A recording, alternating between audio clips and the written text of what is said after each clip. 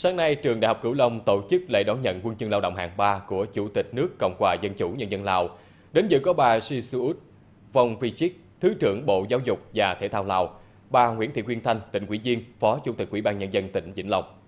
Thay mặt lãnh đạo Ủy ban Nhân dân tỉnh Vĩnh Long, bà Nguyễn Thị Quyên Thanh, Phó Chủ tịch Ủy ban Nhân dân tỉnh, chúc mừng và đánh giá cao tinh thần hợp tác hữu nghị tốt đẹp giữa trường Đại học Cửu Long và nước Cộng hòa Dân chủ Nhân dân Lào trong thời gian qua. Bà mong muốn trường Đại học Cửu Long sẽ không ngừng đổi mới, nâng cao chất lượng dạy và học, tiếp tục quan tâm công tác đào tạo lưu học sinh, xây dựng nhà trường thành địa chỉ uy tín trong đào tạo nguồn nhân lực cho tỉnh nhà, trong khu vực cũng như các nước bạn.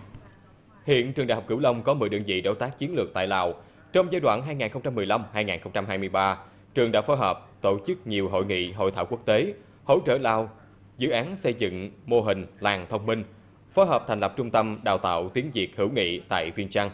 tổ chức các hoạt động giao lưu văn hóa, hỗ trợ kết nối và cử giảng viên sang Lào giảng dạy tiếng Việt.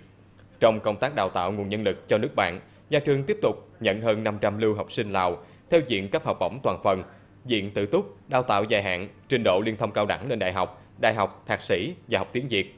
Tại buổi lễ, tập thể trường Đại học Cửu Long và Phó Giáo sư Tiến sĩ Lương Minh Cừ, Hiệu trưởng trường, được trao tặng huân chương lao động hạng 3 của Chủ tịch nước Cộng hòa Dân chủ Nhân dân Lào. Bảy cá nhân có thành tích xuất sắc trong đào tạo nguồn nhân lực, góp phần phát triển kinh tế xã hội nước Cộng hòa Dân chủ Nhân dân Lào được tặng huy chương hữu nghị.